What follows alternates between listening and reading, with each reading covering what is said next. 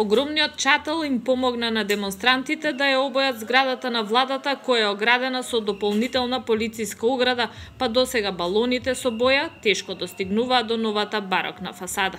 Демонстрантите на столбовите на владината ограда испишаа слобода. Пред владата на разглас се пушта и снимки од бомбите на опозицијата. Чателот предходно им помогна да ја обојат и новата фасада на собранието. Трајко бара боја извикува демонстрантите додека со балони со боја гаѓа кон законодавниот дом. Учесниците во популарно наречената шарена револуција со овации го поздравува секој погодок со боја на фасадата.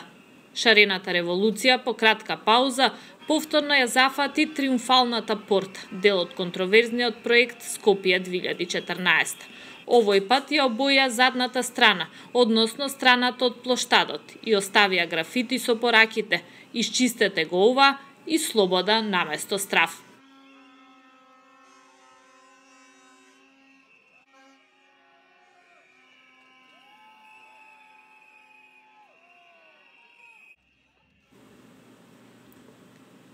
Дел од демонстрантите го обои и споменикот на Прометеј, кој е ограден со ограда за да го исчистат властите од предходните боења.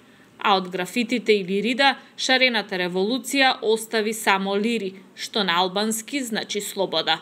На денешниот протест пред собранието и пред владата, илјадниците демонстранти побараа прво да се спроведат реформи, па дури потоа да има избори. Избори без избор нема да дозволим. мафија на робија. Ако различноста е болест, сите сме болни.